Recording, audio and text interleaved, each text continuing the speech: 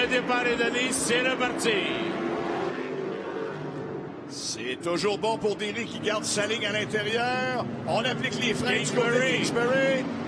Et qui sort bien large et ça lui permet de garder sa position. Pendant que Goulet est à l'intérieur de Trépanier. Martin Goulet, euh, est-ce que c'est Marc? Oui, c'est Martin Goulet qui est maintenant en deuxième.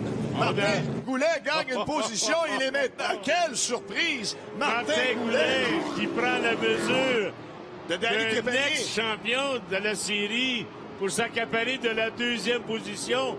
On pourrait dire que c'est un coup de théâtre dans cette finale du championnat canadien de soccer. Et Marc Baudouin également qui gagne des positions supplémentaires dans la voiture 80 qui appartient à Donald Teach. Oh, on est passé tout droit. La voiture numéro 49. C'est celle de Matt, 33. Matt Anderson. 83. Matt Anderson et Vincent Vachon. Matt Anderson, on va aller à la reprise. François, regarde les images, on va voir ce qui s'est passé. Alors, entre Matt Anderson, le pilote du New Hampshire, qui part en tête à queue, et malheureusement... On a bloqué le chemin tout simplement. Anderson du New Hampshire a échappé son bolide toujours dans la fameuse courbe du Carmel. Il a frappé lourdement le muret de pneus, hein? Oui. Mais il est en mesure de repartir.